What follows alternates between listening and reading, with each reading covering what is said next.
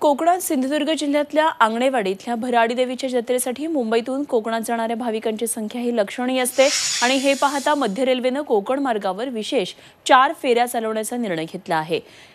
LTT आणि CST ते Sawantwadi road दरम्यान या गाड्या चालवण्यात येणार असून सात जानेवारीला या गाड्यांचं बुकिंग सुरू करण्यात येणार असल्याचं कोकण रेल्वेकडून स्पष्ट करण्यात आलंय. त्यामुळे भराडी देवीच्या जत्रेला कोकणामध्ये जाणाऱ्या भाविकांचा प्रवास आता अधिक सुखकर होणार आहे. आपण या नेमक्या कुठल्या विशेष गाड्या आहेत कुठून आणि कधी सुटणार आहेत ते पाहतोय.